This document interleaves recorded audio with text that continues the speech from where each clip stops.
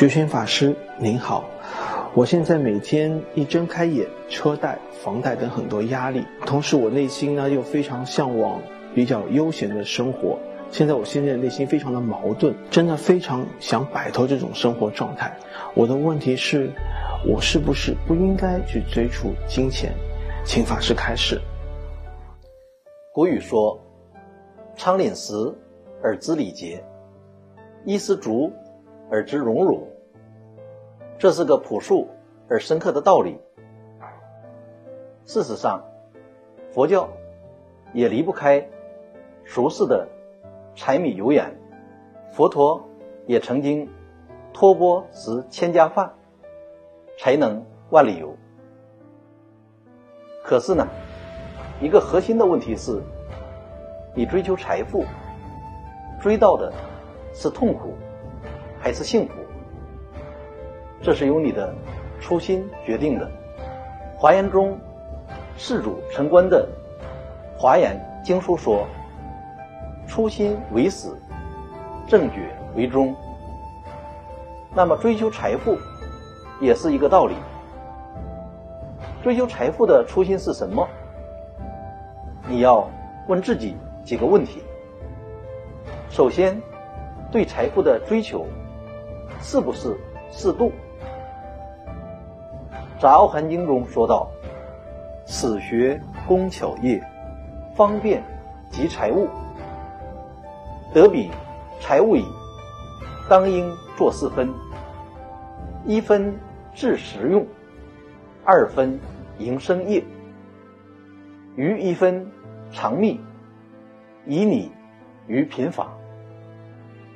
每个人都想要一份舒适的生活，满足基本的生活需求，要穿衣吃饭，要孝养老人。要抚育儿女，在这个层面，追求适当的财富是完全正当的、合理的。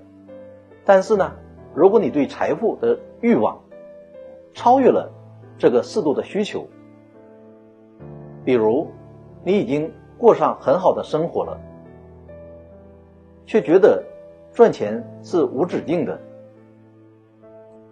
那个数字呢越大越好。那你就要停下来想一想。常言道：“过犹不及。”当你超过了这个度，就引出了贪欲。社会的资源、地球的资源都是有限的，我们每个人的福报也是有限的。如果你忘记了追求财富的初心，这样做，百害而无一利。再者，你要问一问自己，得到财富的途径是什么？是不是正当？君子爱财，取之有道。这个道就是正路，你不能为了财，走上了一些歪门邪道。我们传统文化里向来强调。君子有浩然正气，就是你要活得坦坦荡荡、光明磊落。你正当的、如法的求财，我认为这是追求财富的基本的态度。正所谓以法求财，不以滥取。第三，这件事啊，是不是影响了你感悟幸福生活的能力？我听说，有的人什么都没有的时候，反而很容易快乐；当手里钱很多的时候，快乐反而离他越来越远。原本你下班回家，一碗妈妈的做的面，就让你非常幸福了。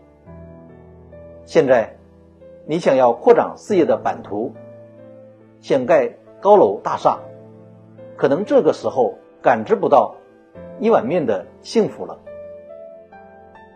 不忘初心，方得始终。对于财富也是一样，始终不要忘了你的初心。财富是通达幸福生活的手段，而不是障碍。最后，你还要问问自己：有了财富，你想去做什么？你可以好好的利用，把现有的财富分一些出来修福德，为将来种下福报的种子。比如去做财布施，抚恤了孤寡，施舍医药，参与到社会福利救济中。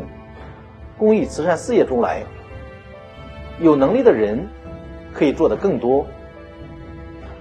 华严经中的一句话送给你：贫者令足，病者令愈，危者令安，富者令子，有忧苦者闲死快乐。你用多余的财富种下福田，那么你会得到更多的财富。这些财富不仅仅指金钱，还有智慧、慈悲、健康、欢喜和自在。阿弥陀佛，感恩觉醒法师。